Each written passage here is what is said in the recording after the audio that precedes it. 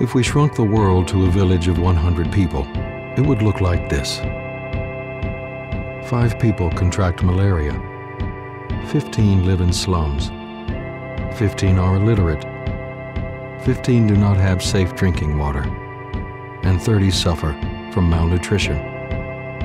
Let's hope the rest are volunteers.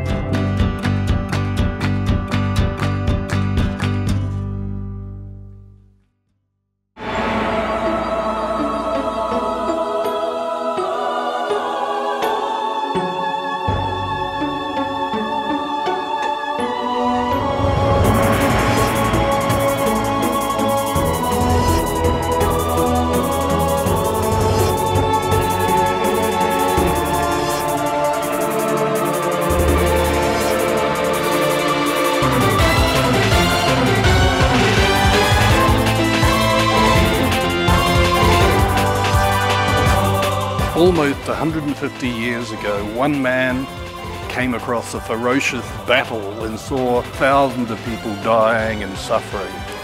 He tried to help, but he realized that one person alone couldn't do it, so he mobilized people from the community around him. And that's what's happening today. Red Cross, Red Crescent is about mobilizing volunteers for the good of the community, to serve in times of disaster, to serve in times of conflict, day to day, road accidents, first aid, HIV AIDS awareness, and many and many of those programs, particularly more and more looking after the elderly.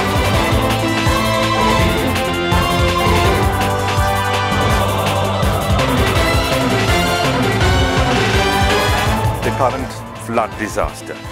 Nowhere, we, none of us from Colombo outside could really travel there. But we had relief stocks in our warehouses where the volunteers actually came and and delivered them. So basically, it has been so vital that we have volunteers from the community and that we can assist them.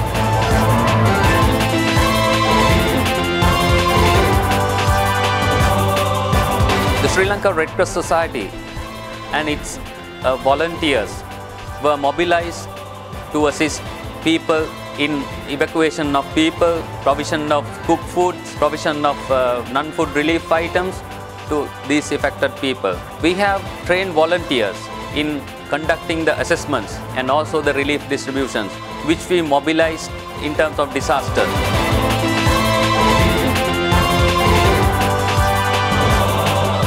For the past 13 years, I have been a volunteer of SLRCS. At the same time, that SLRCS have been supporting me to develop my capacities, skills to support the emergency operations in any, any time, in any disaster times. In the current, the flood operation in the east part of the country, that I was asked to deploy in Batticaloa district to support the, the ongoing operation. After being to Batticaloa district, that I found that there was so many volunteers that who was willing to support their community.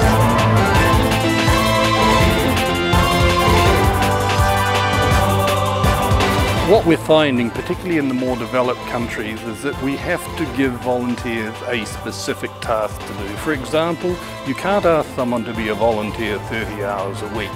Maybe the only time they have available is two hours on a Saturday. So we've got to mobilize the, the power of humanity, the time of volunteers in a very strategic manner.